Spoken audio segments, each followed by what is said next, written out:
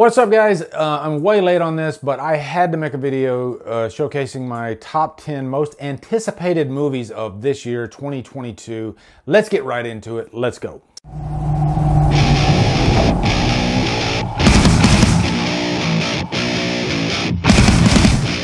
What's up guys? Scream has already come out, so obviously this that is not going to be on this list. If it was on this list, I probably would have put it somewhere in the, like the top five, maybe top three. Did just find out today though that Scream 6 has been greenlit, so that's great news. We're all happy to hear that. Uh, will Matthew Lillard come back in the uh, th this new movie? I don't know. We'll see. But anyway, let's dive right in. I'm going to give you one honorable mention, and that is going to be Salem's Lot. Uh, and confession time, I still have not watched the original Salem's Lot. I threw it in. I didn't realize it was like a mini series. I thought it was just like a, a quick hour and a half movie, two hour movie. And I think it's like three hours long. And I, at the time, I just didn't have the time. So I need to watch it. But I might wait and watch this remake that, that's coming out. Now, this remake does look interesting. Uh, it does have some heavy hitters. Spencer Treat Clark is an actor that I think is highly underrated. He was in the Last House on the Left remake. We all know him from Gladiator. The Town That Dreaded Sundown remake. I guess he loves remakes. But man, he, he is a captivating actor. And so when I saw that he was attached to this, and I think he's the lead in this, that got my attention. Of course, genre veteran William Sadler is in this, uh, Alfre Woodard. But it's based on the Stephen King book uh, about a writer who goes to this town and there happens to be some vampire action there. So I'm really curious about this movie, and I think I'm gonna wait to watch the original and watch this one first. Okay, uh, number 10 is going to be the new Texas Chainsaw Massacre. I'm glad I'm getting this, I'm gonna try to get this out before the new movie comes out, okay, because it's coming out in like two weeks. Uh, I did a trailer reaction the other day. The trailer looks really fun. This could be horrible, okay, guys? This could be completely horrible. They, they don't know how to properly title these movies anymore. Uh, the, the continuity is so all over the place. It's insane. This new movie, uh, it's, a, it's a requel. Takes place uh, after the first movie. 50 years later now, I guess they're going with, something like that, even though it's not quite 50 years yet.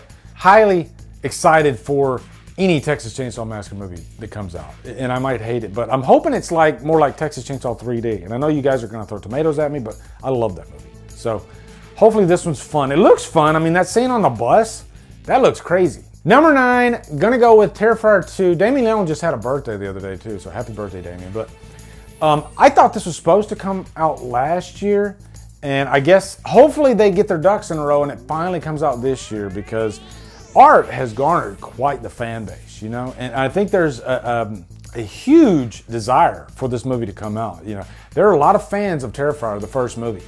I wasn't a fan the first time I watched it. Second time, I ended up really liking it. I've seen it a few times now, and it, it is definitely a fun movie, but it's it's a horror movie for sure. It's not for everybody. Art is definitely a clown not to be messed with. I, am curious about Terrifier 2. We did have a trailer last year, so hopefully we get this thing sooner than later. Number eight, Jurassic World Dominion. I'm gonna put it on here, even though I really did not like the last one at all. I mean, it felt like Lost World 2.0, but just a bad version of it. Chris Pratt and I'm not speaking personally, okay? I'm just talking about the actor. He is very one note. It seems like he plays the same type of character in every movie that he's done. Everything I've watched him, is the same. And he's great in the style of acting that he does. Like, don't get me wrong, Star Lord is a fun ass character. He's just not the leading man that I want uh, in these new Jurassic Park movies. You know, he's no Jeff Goldblum, I don't know much about this movie, but I do love dinosaurs. I'm a fan of the franchise. You know, it brings back a lot of memories of my, my son when he was young. He was a dinosaur fanatic. He loved that movie, the first couple movies. So I'll give it a chance. You know, I'm, I'm still excited. We'll see. It could be horrible. I don't know. Number seven is Nope, Jordan Peele's new movie. There is no plot out for this movie yet, which is good. I like that. Jordan Peele has really um, made a name for himself in horror. With Us, I freaking loved Us. Get Out was decent, but the directing panache was definitely there. You know, Get Out has its, you know, it made a mark. Okay, let's put it that way.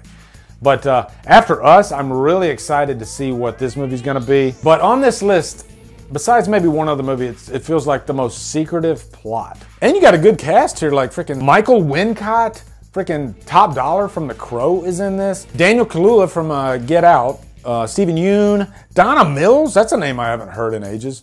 So quite the eclectic cast in this movie. But I, I mean, I don't know what else to say about the movie except that Jordan Peele's directing it, and I think it's probably going to be very unique. Number six is Black Phone. This is uh, one of maybe two Blumhouse movies that's on here. You can probably guess the other one.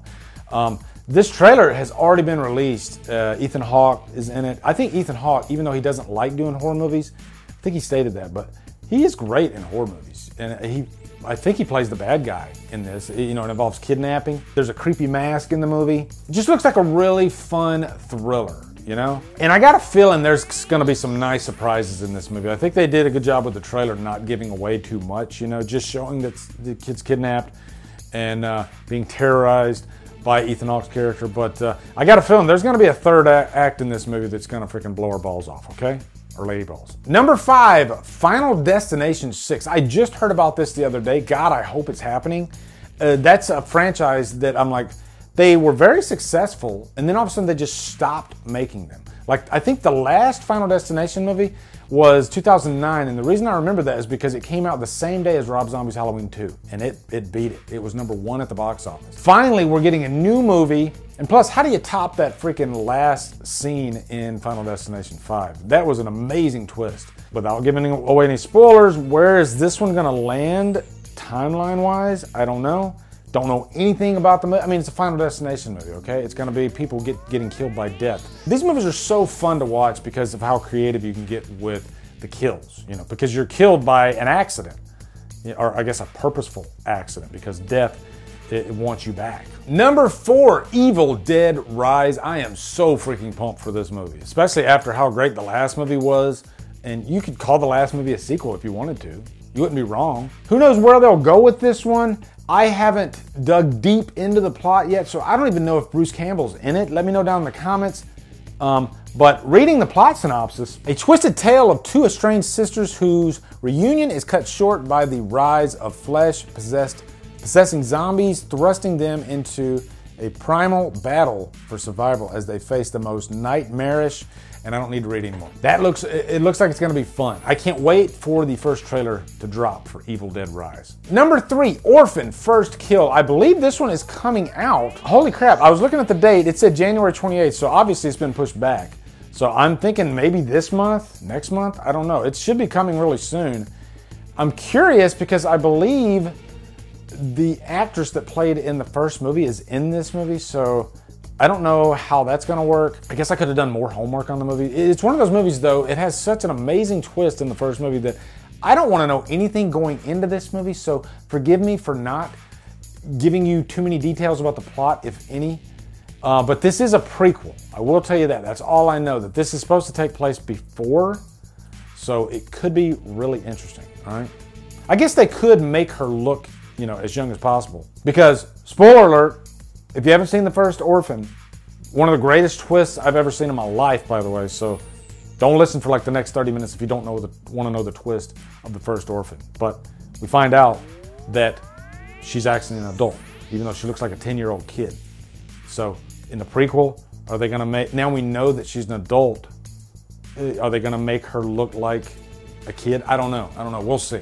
I'm brainstorming here in real time. Number two is X the new Ti West movie. I literally just uh, recorded a review for House of the Devil. The reason I wanted to watch that movie so bad is after I saw the trailer for X, which looks like a combination of like Texas Chainsaw Massacre mixed with Boogie Nights because they're, they're like shooting a porno in this house. It really feels like a Texas Chainsaw Massacre movie. I will bet that X is going to be more uh, of a Texas Chainsaw Massacre movie than the new one that's actually coming out, or a better one, I guess. You know, Ti West is a, a visually enticing director. He, he, definitely has his own stamp. Uh, he, he's one of the big leagues when it comes to direction, kind of like Jordan Peele earlier. And if he puts out anything, I want to see it. So X looks very interesting. Also, by the way, it's A24.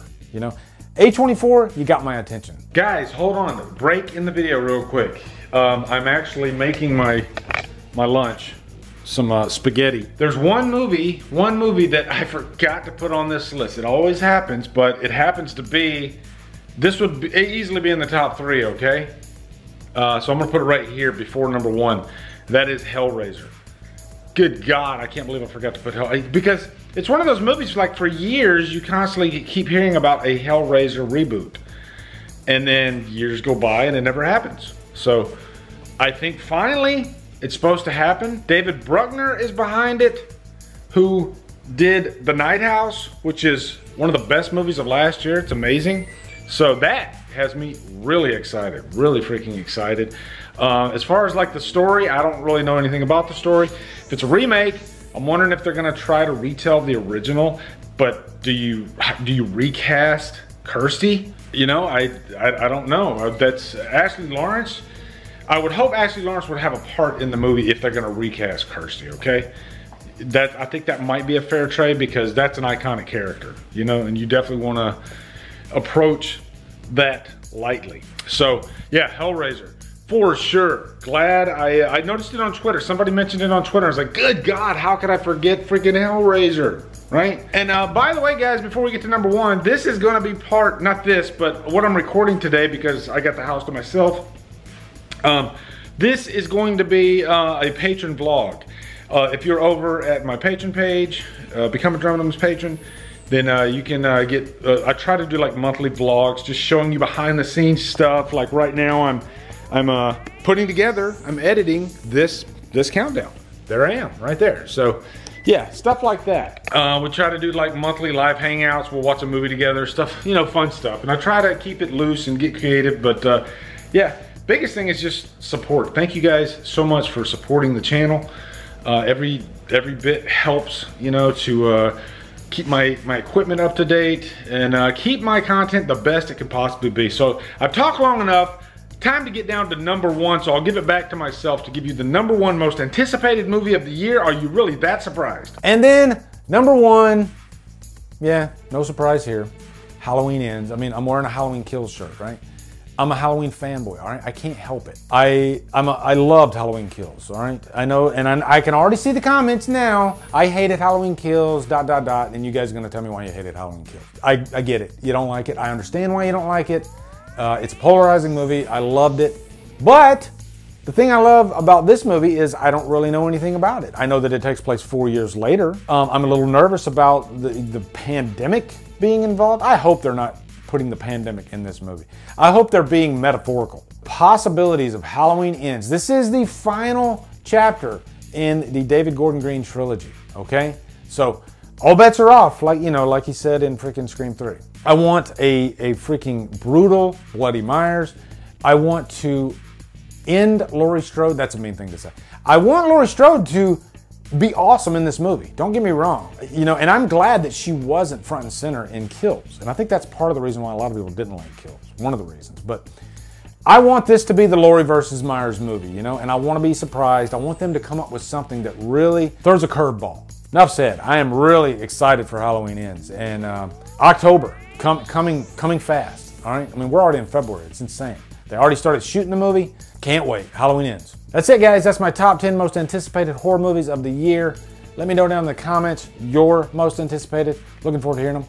Also, be sure to come over to Killer Flicks where we talk horror all day and every day on Fridays. We do free for Fridays. Follow my Drumdums on my socials. Support me on Patreon. Buy me a coffee. Anyway, guys, thank you so much for watching. Have a great day. Drumdum out.